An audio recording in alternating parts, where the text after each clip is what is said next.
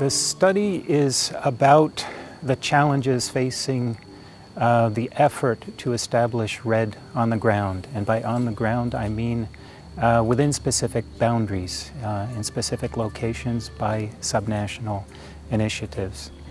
What we found is that proponents are, are facing uh, pretty large challenges.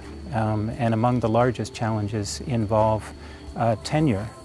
And by tenure, we mean their ability uh, to um, assure that those who are going to be responsible for keeping forests standing and for managing them well are well and legally identified as the right holders to the stream of benefits uh, anticipated from REDD, as well as those who are going to be responsible for keeping forests standing.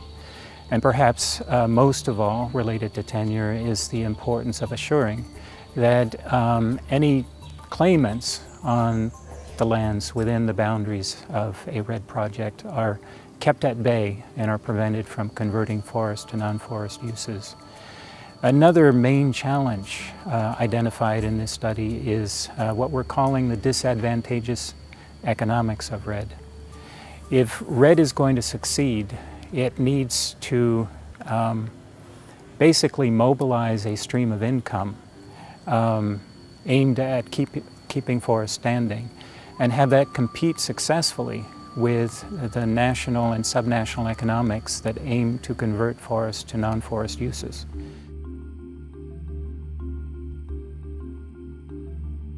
There is grounds for hope based in what we can call the forest tenure transition, this gradual evolution in the direction of uh, providing expanded uh, rights of ownership and access to uh, local stakeholders.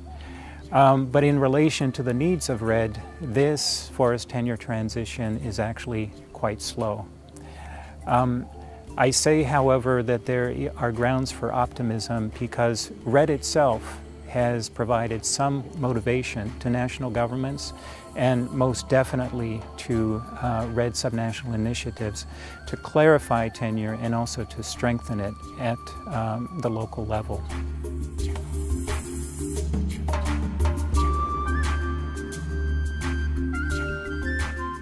New findings are showing that although REDD is potentially uh, going to be pretty successful in providing the carbon additionality or the, um, the slow deforestation that would generate the forest carbon credits that can then be sold and can then serve as a stream of income that assures that, that forests are standing.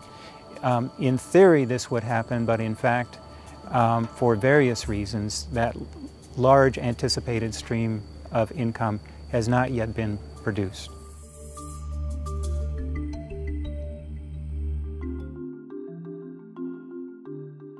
What our study found is that about half of the initiatives that, that we are studying, uh, 11 of the 23, when asked, will they still be functioning as a REDD initiative uh, in 2015, their answer was 90 to 100% yes.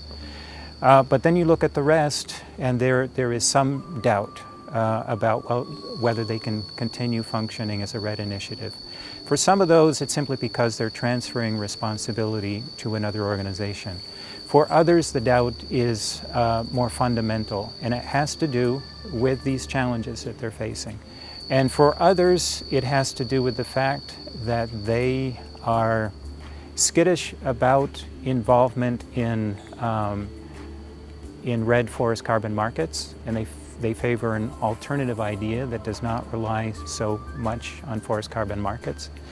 And for still others, um, they are heading in the direction of trying to stop deforestation through a, um, a broader landscape-wide uh, approach that might be called low emissions development and that does not, is not necessarily fundamentally tied to the idea of REDD.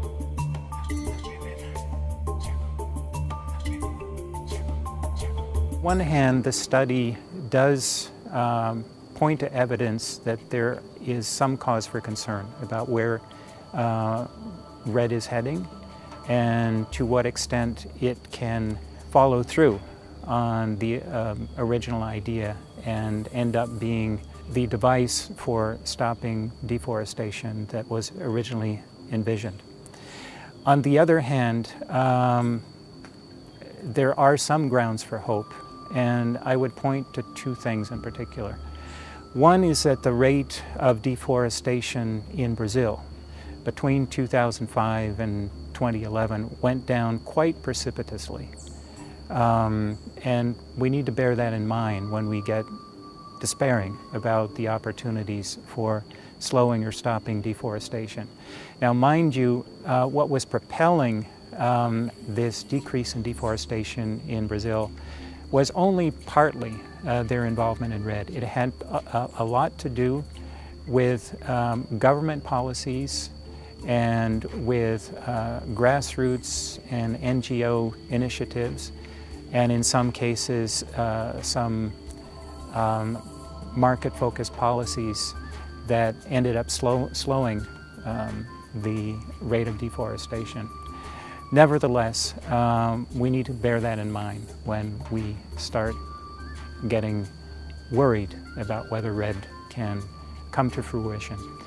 Um, the other um, area of possible hope is to look at um, what is being done in, um, in California with their cap and trade system and the way that that is uh, functioning to support some uh, REDD initiatives around the world.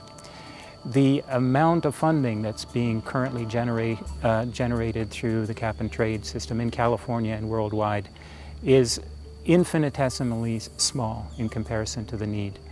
Uh, nevertheless, the fact that it is actually functioning and that it might grow over time um, needs to be borne in mind as a, a possible indicator of opportunities in the future.